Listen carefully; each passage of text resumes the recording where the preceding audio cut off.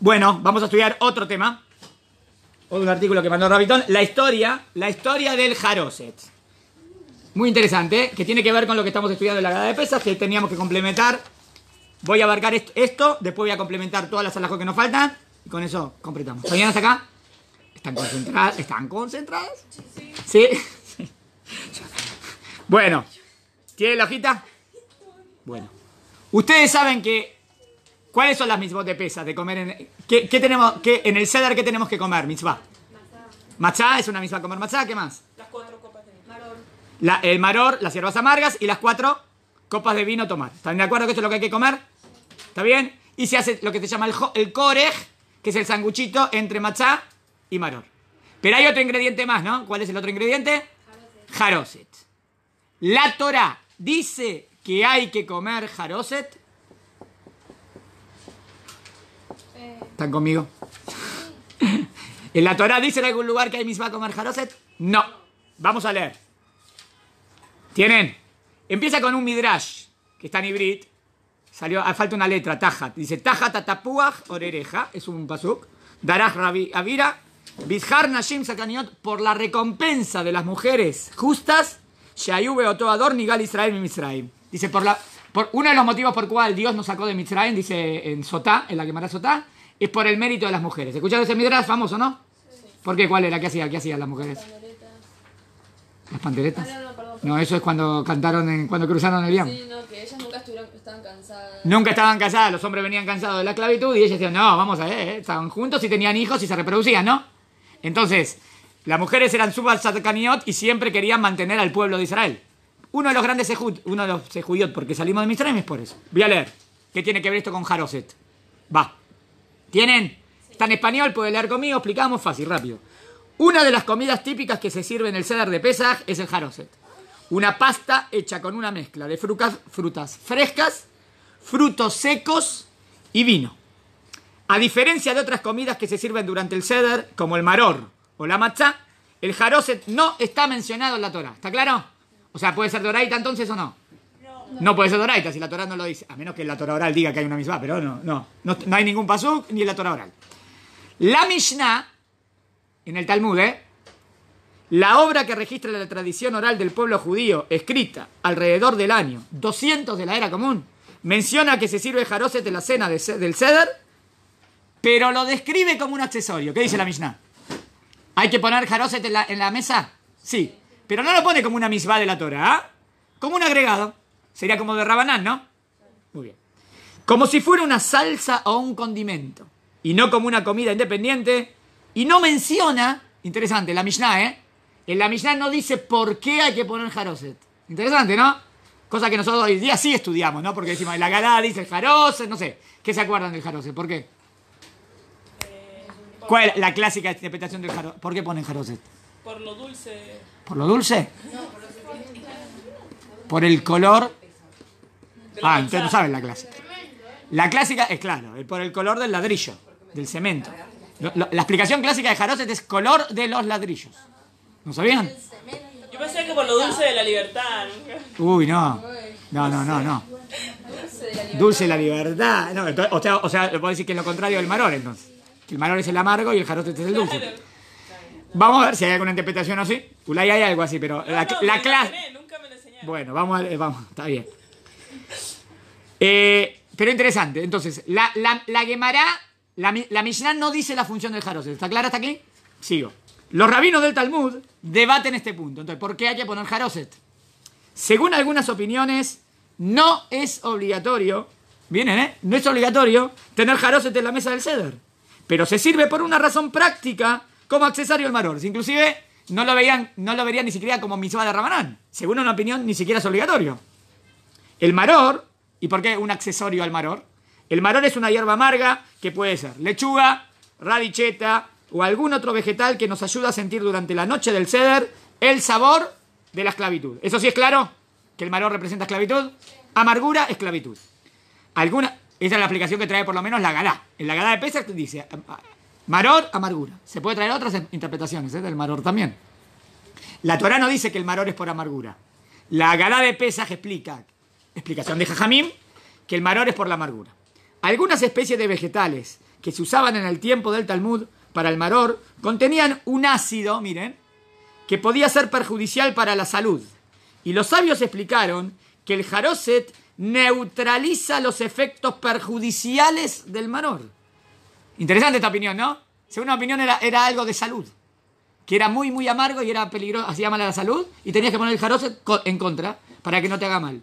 Esa no la conocías, ¿no? Yo, yo no la conocí. De acuerdo a otra opinión, una de las hierbas que se puede usar para maror, Hazeret, contiene un gusanillo difícil de identificar. Y el jarose, interesante, pero si tiene un gusanillo no puedo usarlo nunca. No se puede comer, ¿no? ¿Se puede comer insectos? No. Entonces, ¿qué se, hace? ¿qué se hace? Se revisa. Pero a veces se revisa, se revisa, se revisa y a veces ni siquiera lo podés encontrar. Entonces dice que el jaroset eliminaba a ese insecto. Oh, es otra interpretación desconocida también. O sea, hasta ahora no fue eh, por el tema, fue por, como temas prácticos de salud. Pero ahora vienen las clásicas. Hay dos interpretaciones clásicas, ¿está bien? Va. Y ese es el cuentito que quise contarles. El jaroset y la manzana. Va, primera. De acuerdo a Ribeliezer Bar Ribi Tzadok, el jaroset no es un accesorio del mareor, sino un alimento obligatorio. ¿Qué es al- alimento obligatorio? Es misma, de Oraito de Rabanán, eh, de la Torá o rabínico. Rabínico, rabínico. De la Torá no seguro porque la Torá no menciona nada. ¿Está claro? Es una misma rabínica que tiene un significado propio. A ver el significado. El jaroset que se suele preparar con manzana nos recuerda un evento muy significativo. El faraón, ahí va lo de las mujeres, había decretado la muerte de todos los niños recién nacidos. Pero esto no desalentó a las heroicas mujeres de Israel que no se separaron de sus maridos. Y cuando llegaba el momento del parto, ¿pero qué tiene que ver esto con el jaroset? Huían a los campos y daban a luz ocultas bajo los árboles de manzanas. ¿Ah? Manzaneros sería. Y, para, para recordar esa costumbre ponemos el jaroset. Linda, ¿no? Creo que es un pasuk. Lo trae, no sé si es un pasuk de, de Shira Shirim o por ahí. ¿Está bien? Baja los árboles de, manzana. El jaroset, según esta opinión, con mis propias palabras, dice el Rab, es un homenaje a las mujeres de Israel que gracias a que procedieron con ese heroísmo y sacrificio, hicieron que el pueblo se reprodujera, creciera, se multiplicara y no desapareciera. ¿Por qué desapareciera? Porque iban a matar a todos los niños. Y si no, tenía, y si no teniendo hijos, desaparece el pueblo, que era la táctica del faraón, ¿no? Por sí mismo en un par de generaciones. ¿Entendió? Entonces, según esta interpretación, el jaroset es por el mérito de las mujeres. ¿Cuál es la clásica? Ahí va la clásica. Otra opinión, y es lo que dice Rab Bitón, la más conocida y aceptada es la que afirma que el jaroset nos recuerda el barro. Esto dijiste cemento, quisiste decir. El barro, tit. ¿Qué es tit? Tit es el barro, ¿está bien? Que los esclavos judíos debían recoger con sus manos todos los días para producir los ladrillos. ¿Se acuerdan que el faraón ordenó? Vayan a buscar, vayan a buscar paja, hagan ladrillo y, preparen todo. Que se utilizaban para los proyectos de construcción del faraón. Segunda hoja, del otro lado. Este era un trabajo muy del otro lado, o sea, del, no, segunda, del otro lado. Este era un trabajo muy arduo, muy humillante y muy agobiante. Y es posible que el recuerdo de la imagen y el contacto de nuestras manos con el barro y las pajillas, miren esto que interesante lo que dice el Rambam, ¿eh? Barro y pajilla, porque ¿cómo hacían el barro? Con la paja, ¿no? Bueno, haya quedado grabado en la memoria colectiva de nuestro pueblo como un símbolo de esclavitud y opresión. Maimónides se hace eco de esta opinión y curiosamente, miren eh, lo que dice cómo se hace el jaroset. En su receta el jaroset no incluye manzanas. Ramón no dice que hay que poner manzanas, o sea que Ramón no está yendo por esa interpretación. Lo que sí dice Maimónides es que a la pasta barrosa se le debe agregar tallos de cereal o de verduras. ¿Para qué estos tallitos? Tebalim, que representan visual, visualmente las pajillas que se agregaban al barro para construir los ladrillos. Interesante, ¿no? ¿Está bien? Sí, está bien, no, no, está perfecto. Hay costumbres que así se para no hay problema. Pero dijo, según, cuando Raman trae la receta de cómo se hace el jaroset, habla de poner las pajillas. Interesante, ¿para qué esos tallitos? Ah, porque me hace recordar el... Interesante, ¿no? Eh, para construir los ladrillos. ¿Es posible conectar los dos últimos significados que mencionamos? ¿Podemos decir que las dos son, tienen razón? Sí. ¿También la de las manzanas? ¿O la de las mujeres? ¿Satkaniot con la del barro? es posible conectar los dos últimos significados que mencionamos. Es decir, la procreación que no cesó, uno, ¿Qué son pejillas? eh, pajillas de la paja, de paja, de- de- y la fabricación de ladrillos, recordando un trágico midrash. ¿Se acuerdan de ese midrash? ¿Qué dicen cuando no tenían, no, no tenían, o cuando no terminaban?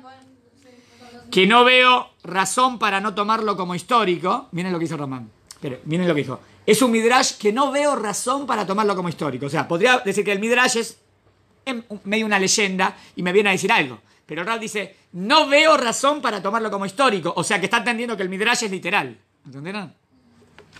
Que dice que cuando un esclavo judío no producía la cuota de ladrillos que le correspondía, los egipcios mataban a uno de sus hijos y lo reemplazaban con su cuerpo los ladrillos que faltaban. ¿Conoces ese midrash famoso? Tremendo.